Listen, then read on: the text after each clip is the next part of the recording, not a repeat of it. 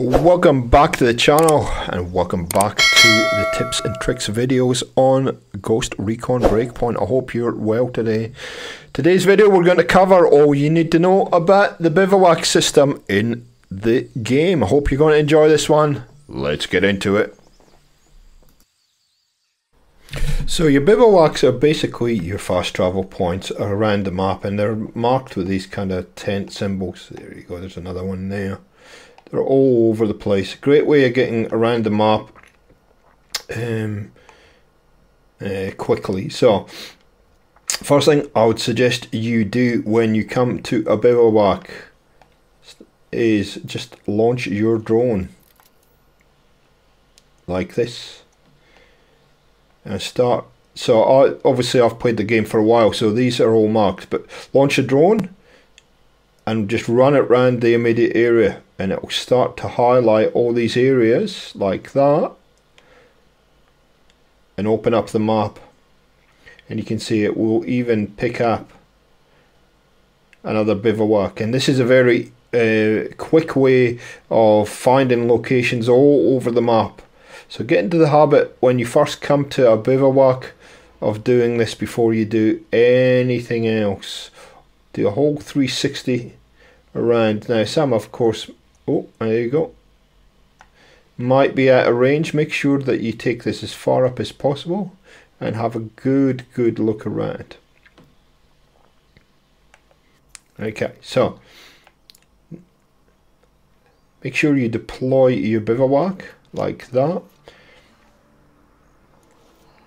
Now you can skip the you can skip this if you like the the animation I usually do and um, now that you're into the bivouac you've got a number of options. So we'll go to we'll go through these one by one. So these are basically boosts to your character while you're playing. There we go. I usually use this one the XP boost but um, you can use whatever you feel comfortable with and depending on how you play the game. And basically, this will give you an XP boost. This is good early in the game for an hour, for 60 minutes. Now, I'll show you a little trick with these in a little bit. Um, so let's just go through these. Increased resistance to injuries, increased endurance, increased drone speed, increased stamina, and then weapon accuracy. These two really are the ones that I uh, I use the majority of the time, and you can see there's various percentages of what advantages it gives you. Always do one of these when you come into the bivouac, just to give yourself a little bit extra boost. Tactics, this is where you can cha actually change your class. So you can see I can change around the class. Change whatever I like. Um, you can actually click in and see the details of your class. All the rest of it what extra um, benefits you get all the rest of it all the stuff about that. Um, you can't actually change your class here but if you bring up the menus as you would normally do sorry I'll get back into that if you bring the menus up like you normally do, you can just change your class like that. So it really doesn't matter. So you can get into the, while you're in the bivouac, and that might not be obvious, but you can actually get into all your menus. Um, I don't know why it's giving me that tutorial on all this. Anyway. So you can get into your, it's probably because I've changed class. So you can change your class here if you like on the fly. I guess you can grab your um, if you've saved um, saved different uh, loadouts for within that different classes you can do that. Crafting you can replenish your supplies in here.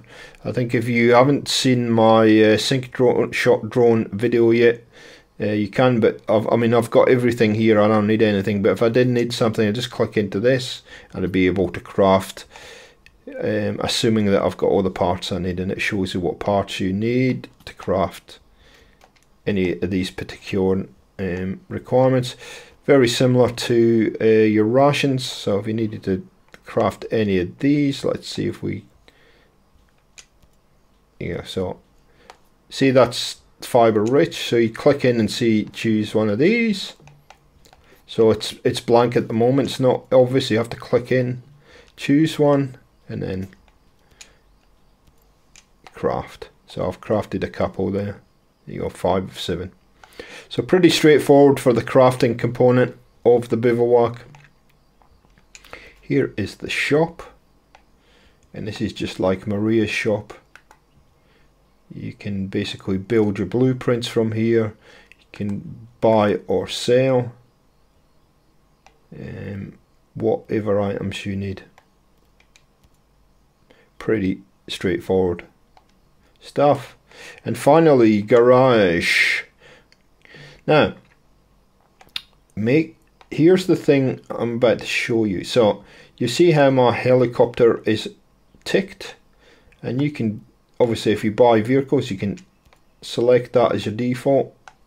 Very important that you understand what that means when you tick these because what it will do every time you come to a bivouac when you exit it will drop that particular vehicle uh, next to your bivouac. So I use the bivouac a lot not only to fast travel but to grab a helicopter. So I have the helicopter checked on all the time 100% of the time.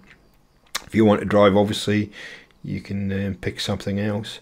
And then the last thing that you need to understand here um, before we leave, and we're going to bring the teammates in in a sec, so you can see what happens with the teammates and how it changes, is break camp. So it gives you the option if you want to do a mission at night time or in the middle of the uh, you know, early morning, you can choose a time to leave. So let's say 2120 and it will give it this little animation and the sun will go down. It turns into night time. And there you go. Now if you bring up your map now you can see my helicopter is right next to me. It's up there somewhere. I'm going to find it in a second. So that's a good I love this feature um, on this game because it, it means you're guaranteed 100% of the time to have a vehicle. Now, you have to deploy your bivouac. You can't just fast travel to the bivouac and your um, your helicopter is there. You have to actually go in, go through the steps of the animation and come back out to generate that vehicle. Now, we are going to switch our teammates on for a second where is it? Yep. There we go. So these guys are here, there they are. And then we're going to deploy the bivouac. Now, keep an eye on... Um, remember I'd, I'd done my XP boost before? One thing that you can do to reset your preparation boost is to deploy your bivouac. And you watch up in the top right it should give me a little prompt once the animation's finished I don't know what's going on with his head it's jittering a little bit. But there you go up up here it's reset your XP boost. Um, so uh, actually you can continually have that preparation boosts if you keep going to different bivouacs during the game and it'll reset it so you'd reset it to 60 minutes again. Um, the last thing I wanted to show you is of course you can customize your teammates from within the bivouac like that. You can do them on the fly which I think is a pretty nice little feature.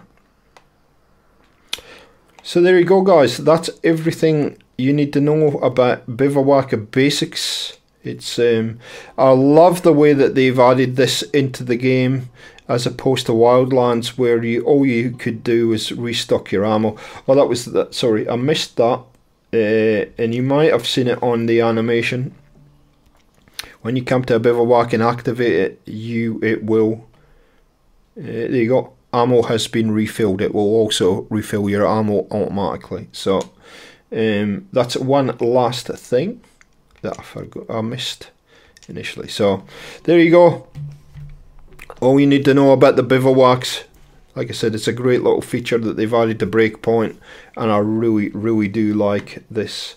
And I use bivouacs a lot. Um, okay, that's all I had to say on that. I hope you're enjoying the series of little tips and tick tricks videos that I'm giving you on Ghost Recon Breakpoint. If you want them to continue, drop a like down below, leave me a comment. If there's anything that you want me to cover uh, on this game, let me know down below, and we will catch you next time on Gaming for XP. See ya!